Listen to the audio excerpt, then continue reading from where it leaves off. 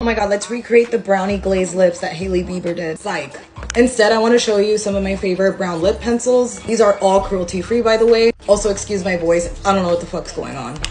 This one from Half Magic Beauty. It has two different shades. I love the darker shade. It's called I'll Pray For You. It's super matte, so it'll last all day. This is a new favorite. It's so creamy and it blends easily. Cocoa, brown, and espresso from NYX are all it. And I think they're like five bucks. Simone lip liner from Oma, another great one. Let me know if you want me to swatch these for